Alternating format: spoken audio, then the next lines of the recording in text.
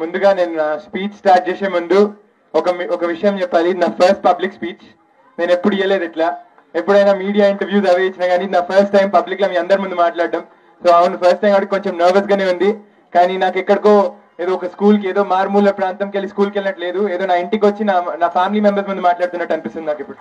ఎందుకంటే ఒక one two years నుంచి ఇక్కడ నేను వచ్చి పనిచేస్తున్నప్పుడల్లా ఈ స్టూడెంట్స్ని చూసి ఇక్కడ వాళ్ళ వాళ్ళ క్లాసెస్ చెప్తున్నప్పుడు క్లాస్ రూమ్స్కి వెళ్ళి వాష్రూమ్స్ కండిషన్స్ చూసి ఇక్కడ గ్రౌండ్ చూసి ఇక్కడ రాయిలు పందులు చెత్త అదంతా చూసి ఒక ఇరవై ముప్పై సార్లు సార్ నేను ఒక ఇరవై ముప్పై సార్లు వచ్చి ఉంటా మీకు కూడా గుర్తుంది.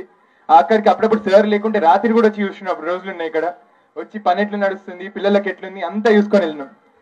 సో అన్నిటికన్నా ముందు మన డయస్ మీద ఉన్న మన ఎడ్యుకేషన్ మినిస్టర్ సబితా రెడ్డి గారికి అండ్ మన గవర్నమెంట్ విప్ అండ్ మీ లోకల్ ఎమ్మెల్యే గాంధీ గారికి వారితో పాటు ఇక్కడ మన కరెంట్ కార్పొరేటర్ గంగాధర్ గారికి అండ్ మన ఎక్స్ కార్పొరేటర్ సాయిబాబా గారికి. ఇంకా నా స్టేజ్ మీద ఉన్న నా హోకో అండ్ క్యాషనవల్ టీమ్ మెంబర్స్ అందరికి stand up for minute so నా హోకో అండ్ క్యాషనవల్ టీమ్ మెంబర్స్ ఇంకొంతమంది కూడా ఎక్కడ వెనకాల ఉన్నారు. బట్ uh, మా టీం అందరికి మా ఓక్రిచ్ ప్రిన్సిపల్ దీపికా మ్యామ్ గారికి అండ్ మా క్యాష్ కోఆర్డినేటర్ ఈ ఐడియాకు యాక్చువల్లీ సీట్ పెట్టింది అంటే మా క్యాష్ కోఆర్డినేటర్ శాలిని మ్యామ్ తన ఇనిషియేటివ్ వల్లనే నేను మా క్యాష్ బృందం మొత్తం ఇక్కడికి వచ్చి ఈ స్కూల్ని సర్వే చేశాము. తన ఇనిషియేటివ్ లేకపోతే ఈ స్కూల్ ఇక్కడ ఉంది అని కూడా నాకు తెలిసేది కాదు. So thank you Shalini ma'am really appreciated thank you so much for all you done for the school the actual credit goes to her not me she started this and అయితే నేను నా ఇంకా డీటెయిల్స్ పోకముందు అసలు ఈ school వెనకాల ఉన్న story చెప్పాలి. Initially నేను రెండు వేల ఇరవై రెండులో క్యాష్ ప్రెసిడెంట్ అయినప్పుడు సరే ఎందుకు ఎప్పుడే ఏదో అందరిలోకి ఏదో చేయడం ఎందుకు? ఇది ఎక్స్ట్రాడినరీ చేయాలి. ఎందుకంటే నా కేసీఆర్ గారు మనమని కదా నార్మల్గా చేసేది అలవాటు లేదు. సో ఏదైనా ఎక్స్ట్రాడినరీ చేయాలి. ఓక్రిజ్ కే కాదు ఓక్రిజ్లో మా క్యాష్ అనేది ఓక్రిజ్ లోపలనే జరిగే ఈవెంట్స్లో ఆ ఫండ్స్ కలెక్ట్ చేస్తాం ఎన్జిఓస్కి ఇస్తాం. ఇట్లనే నడుస్తున్న క్యాష్ని నేనేమనుకున్నా అంటే ఈ ఫండ్స్ ఇక్కడ వచ్చిన ఫండ్స్ని మన స్కూల్ కోసం కాదు మన స్కూల్ పేరు కోసం కాదు బయట ఒక పది మందికి సహాయం చేద్దానికి వాడదామని చెప్పి ఆ ఇనిషియేటివ్ నేను నా క్యాస్ట్ మెంబర్స్ తీసుకున్నాము. అన్ఫార్చునేట్లీ ఇప్పుడు నాకు కొంతమంది క్యాస్ట్ మెంబర్స్ కాలేజెస్కి వెళ్ళిపోయినరు. But I have to take their names for sure Aditi Mullapudi Pranav Manasani Neha Bhatta Ramsha and Nesa Agarwal. వీళ్ళందరూ కూడా నా క్యాస్ట్ టీమ్ డే వన్ నుంచి ఈ స్కూల్ వచ్చి నాతో ఎన్నోసార్లు వచ్చి తిరిగి చేసి మొత్తం ప్రతి ఒక్క క్లాస్ రూమ్ సర్వే చేసి ప్రతి ఒక్క స్టూడెంట్తో మాట్లాడి మీకు ఇక్కడ ఏమేమి కావాలి ఏమి ఎట్ల పరిస్థితి ఎట్లుంది అన్ని కనుక్కొని ఆఖరికి డైనింగ్ హాల్ అనేది నాకు తెలుసు. ఇక్కడ స్కూల్లో చాలా లిమిటెడ్ స్పేస్ ఉంది. అయినా కూడా అయినా కూడా పిల్లలకు ఒక డైనింగ్ హాల్ ఉండాలి. ఎందుకంటే క్లాస్ రూమ్లలో తినే వరకు ఏమైతుందంటే లోపట అంతా స్మెల్ అండ్ పురుగులన్నీ జమ అవుతున్నాయి. అవంతా ఉండకుండా ఒక డైనింగ్ హాల్ కట్టియాలి స్పేస్ ఉన్నా లేకుండా అంత అవసరమైతే బయట ఉన్న వినాయకుడి మండపంని తీసేసి ఇంకా పెద్దగా కాలనీ వాళ్ళ కోసం ఇంకా పెద్దగా వినాయకుడి మండపం కట్టించి ఉన్న వినాయకుడి మండపం దగ్గర మంచి గ్రౌండ్ చేసుకొని అక్కడ పిల్లలకు ఒక ప్లే ఏరియా లెక్క చేద్దామని ఐడియాతోని ఇక్కడ డైనింగ్ హాల్ కూడా కట్టినాం. అయితే ఫస్ట్ టైం మేము ఈ స్కూల్కి వచ్చిన మా పర్పస్ అసలు చాలా డిఫరెంట్ మీరు ఇక్కడ చూస్తున్న బిల్డింగ్ అసలు మా ఇనిషియల్ లిస్ట్లో లేకుండే. మేము ఈ స్కూల్కి వచ్చి మా పర్పస్ ఏముండేనంటే మా క్యాష్ కోఆర్డినేటర్ గారు ఏం చెప్పారంటే వెళ్ళండి ఒకసారి ఆ స్కూల్ చూడండి ఆడ స్కూల్లో మనకు రిప్రజెంటేషన్ వచ్చింది. అక్కడ మనం గోడలు కట్టాలి. ఎందుకంటే వాళ్ళకి సెక్యూర్ లేదు గేట్ లేదు ఏం లేదు అని అన్నారు. సరే మ్యామ్ చేద్దామని ఆ రోజు నా ఫస్ట్ డే క్యాష్ ప్రెసిడెంట్ నా ఫస్ట్ డే నా ఫస్ట్ డే రోజు నేను స్కూల్లో టెన్ థౌసండ్ సాప్లింగ్స్ ప్లాంట్ చేసి పదివేల మొక్కలు నాటి నేను మ్యామ్ని అడిగిన మ్యామ్ నాకు దీంతో ఏం సాటిస్ఫాక్షన్ లేదు. చెట్లు పెట్టే కార్యక్రమం ఎవరైనా చేస్తారు. మనం ఏమైనా కొత్తగా చేయాలి. స్కూల్కే మనం ఒక పేరు తేవాలి. స్కూల్ మనకేం ఇచ్చిందని కదా మనం స్కూల్కేం ఇవ్వాలి స్కూల్ ఈ బ్యాచ్లో ఈ ఈ క్యాష్ రికార్డ్లో మనం ఒక బెంచ్ మార్క్ సెట్ చేసి పోవాలి మ్యామ్ అని చెప్పి సరే ఇక్కడికి వెళ్ళి ఒకసారి సర్వే మనకి ఎప్పుడో రిప్రజెంటేషన్ వచ్చింది. ఒకసారి ఎల్లు మన హెడ్ మాస్టర్ రాములు గారు కూడా ఉన్నారు అక్కడ. కలువు ఎట్లుంది పరిస్థితులు అన్ని చూడు. చూసి నీకు ఇష్టం ఉన్నట్టు నువ్వు చేయి దాని ప్రకారం నువ్వు ప్లాన్ చేయి. అని నాకు అటానమిటీ కూడా ఇచ్చింది. నేను ఒక స్టూడెంట్ అయి కూడా ఇంత పెద్ద బాధ్యత నాకు అప్పచెప్పింది అయితే షాలిని మామే తను ఏ మాత్రం ఇంటర్ఫియర్ కాలేదు. నా మొత్తం నమ్మకం నా మీద పెట్టి నువ్వు ముందుకెళ్ళు నువ్వు చెయ్యి. I trust your judgment do what you have to and I'm sure it'll turn out to be great అని అన్నారు. అని నేను మా క్యాష్ టీమ్ వచ్చినప్పుడు మా డ్రైవర్ ఇక్కడ తీసుకొస్తుంటే సరే ఓకే స్కూల్ ఎక్కడ ఉంది అనుకున్నాం వస్తున్నాం. అండ్ uh, కొంచెం ముందుకు వచ్చి బండి ఆగింది.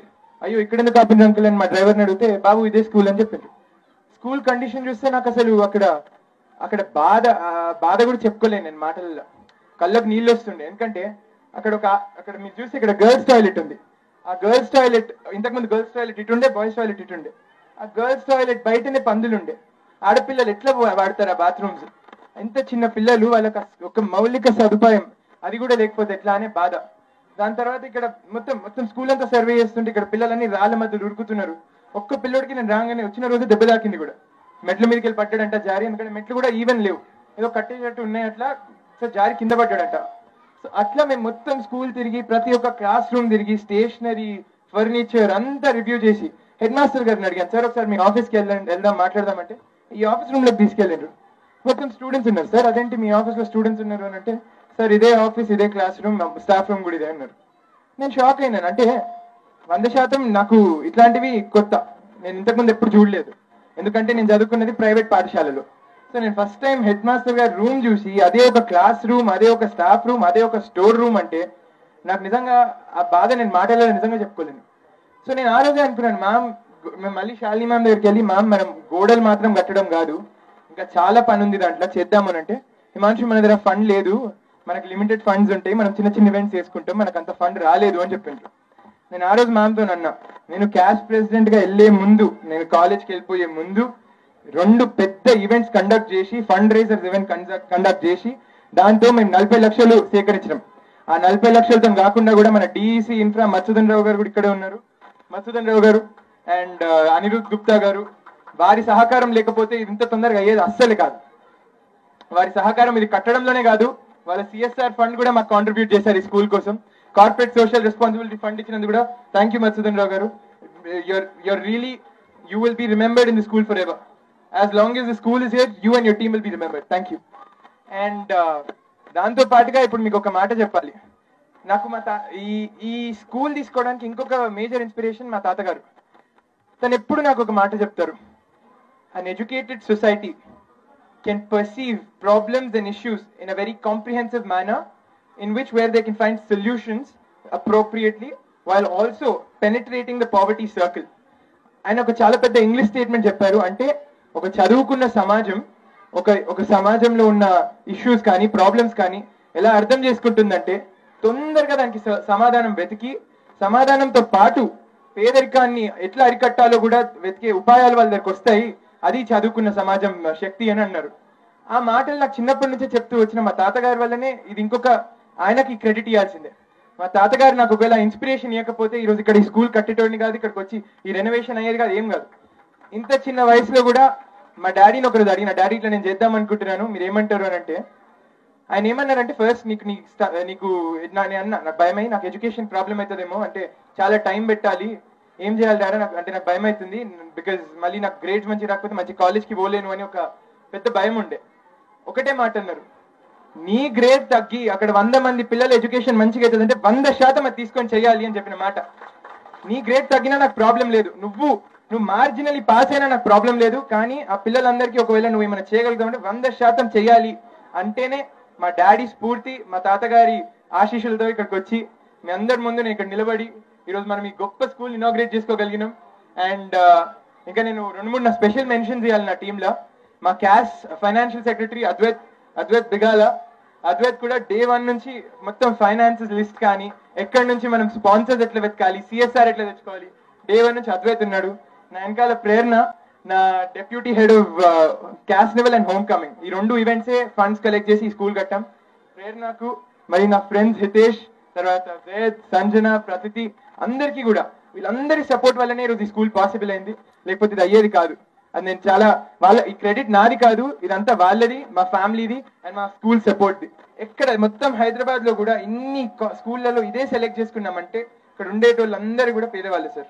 ఇక్కడ వాళ్ళందరూ పేదవాళ్ళు ఇక్కడ అందరూ కూడా కూలి పని చేసుకొని బతికేటి వాళ్ళు వాళ్ళ పిల్లల కోసమే మనం చేస్తున్నాం. ఎందుకంటే మీ అందరి నుంచి కూడా పిల్లలు మీ అందరి నుంచి నాకు ఒక చిన్న రిక్వెస్ట్ మీలలో నేను పెద్దగా అయినాక డాక్టర్లను చూడాలి.